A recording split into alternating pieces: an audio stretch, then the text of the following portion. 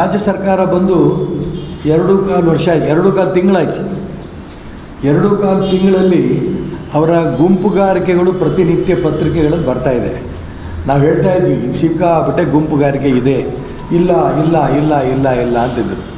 ಈಗ ನಿನ್ನೆ ಬಹಿರಂಗ ಪತ್ರಗಳು ಮೂವತ್ತು ಜನ ಕಾಂಗ್ರೆಸ್ಸಿನ ಶಾಸಕರು, ಇಪ್ಪತ್ತು ಜನ ಮಂತ್ರಿಗಳು ನಮಗೆ ವರ್ಗಾವಣೆಗೆ ಏಜೆಂಟ್ಗಳ ಮುಖಾಂತರ ಹಣ ಕೇಳ್ತಾರೆ.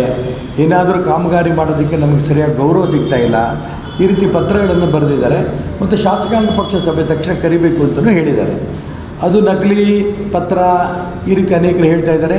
ಇಲ್ಲ, ನಾವು ಪತ್ರ ಬರೆದಿರೋ ಹೌದು ಅನ್ನೋದನ್ನು ಕೂಡ ಕೆಲವು ಕಾಂಗ್ರೆಸ್ ಶಾಸಕರು ಹೇಳ್ತಾ ಇದ್ದಾರೆ. ಅದು ಹೌದು ಅಲ್ಲೋ ಪ್ರಶ್ನೆ ಬೇರೆ.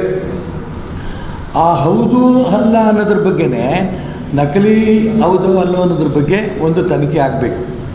ಏಕೆಂತಂದರೆ ಕಾಂಗ್ರೆಸ್ಸಿನ ಶಾಸಕರ ಪತ್ರವೇ ವೈರಲ್ ಆಗಿ ಇದು ನಕಲಿ ಅಂತ ಹೇಳ್ಕೊಳ್ಳೋಂಥ ಪರಿಸ್ಥಿತಿ. ಆದರೂ ಕೂಡ ಕೆಲವು ಶಾಸಕರು ಹೇಳಿದ್ದಾರೆ ನಾವು ಪತ್ರ ಬರೆದಿದ್ದು ಹೌದು ಅಂತ.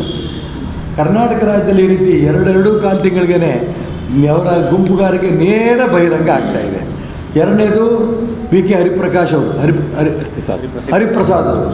ನನಗೆ ಮುಖ್ಯಮಂತ್ರಿ ಮಾಡೋದು ಗೊತ್ತು ಮುಖ್ಯಮಂತ್ರಿ ಸ್ಥಾನದಿಂದ ಇಳಿಸೋದು ಗೊತ್ತು ಅಂತ ಮಾತನ್ನು ಹೇಳಿದ್ದಾರೆ. ಅವರೇನು ಹರಿಪ್ರಸಾದ್ ಅವರು ಸಾಮಾನ್ಯ ಕಾಂಗ್ರೆಸ್ ಕಾರ್ಯಕರ್ತರಲ್ಲ.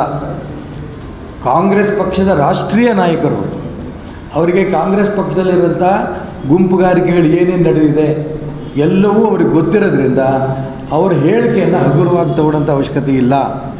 ಎರಡನೇದು ಮನೆ ಡಿ ಕೆ ಶಿವಕುಮಾರ್ ಹೇಳಿದ್ದಾರೆ. ಕಾಂಗ್ರೆಸ್ ಸರ್ಕಾರವನ್ನು ಪತನ ಮಾಡೋ ದಿಕ್ಕಿನಲ್ಲಿ ಷಡ್ಯಂತ್ರ ನಡೀತಾ ಇದೆ. ಸಿಂಗಪುರಲ್ಲಿ ನಡೀತಾ ಇದೆ. ಈ ಮಾತನ್ನು ಅವ್ರು ಹೇಳಿದ್ದಾರೆ. ಹಾಗಾದರೆ ಡಿ ಕೆ ಶಿವಕುಮಾರ್ ಇವತ್ತು ಬಹಿರಂಗ ಮಾಡಬೇಕು. ಯಾರು ಈ ರೀತಿ ಷಡ್ಯಂತ್ರ ನಡೆಸ್ತಾ ಇದ್ದಾರೆ? ಕಾಂಗ್ರೆಸ್ ಪಕ್ಷದಲ್ಲಿ ಇರೋರು ನಡೆಸ್ತಾ ಇದ್ದಾರೋ? ವಿರೋಧ ಪಕ್ಷದಲ್ಲಿರೋರು ನಡೆಸ್ತಾ ಇದ್ದಾರೋ? ಸಿದ್ದರಾಮಯ್ಯನವ್ರ ಕಡೆ ನಡೆಸ್ತಾ ಇದ್ದಾರೋ? ಡಿ ಕೆ ಶಿವಕುಮಾರ್ ಕಡೆಯವ್ರು ನಡೆಸ್ತಾ ಇದ್ದಾರೋ? ಬಿ ಹರಿಪ್ರಸಾದ್ ಕಡೆಯವ್ರು ನಡೆಸ್ತಾ ಇದ್ದಾರೋ? ನನಗೆ ಗೊತ್ತಿಲ್ಲ. ಇದಿಷ್ಟು ಜೊತೆ ಸತೀಶ್ ಜಾರಕಿಹೊಳಿ ಕೂಡ ಇದಕ್ಕೆ ಎಂಡರ್ಸ್ ಮಾಡಿದ್ದಾರೆ. ಈ ರೀತಿ ನಡೀತಾ ಇರೋದು ಹೌದು? ನನ್ನ ಗಮನಕ್ಕೂ ಬಂದಿದೆ ಅಂತ. ಹಾಗಾಗಿ ಎರಡು ತಿಂಗಳು ಹದಿನೈದು ದಿನದಲ್ಲೇ, ಇನ್ನು ಎರಡು ತಿಂಗಳು ಹದಿನೈದು ದಿನ ಆಗಿಲ್ಲ. ಎರಡೆರಡು ಕಾಲು ತಿಂಗಳಲ್ಲೇ ಕಾಂಗ್ರೆಸ್ಸಿನ ಈ ಗುಂಪುಗಾರಿಕೆ ಇಷ್ಟರ ಮಟ್ಟಿಗೆ ಬಹಿರಂಗ ಆಗಿರೋದು ರಾಜ್ಯದ ಇತಿಹಾಸದಲ್ಲಿ ಮೊದಲನೇ ಬಾರಿ.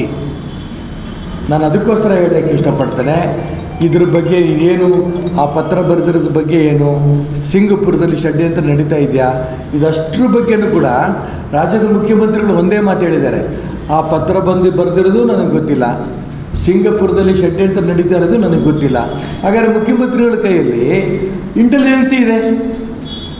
ಏನು ಮಾಡ್ತಾರೆ ಹಾಗಾದ್ರೆ ಅವರು?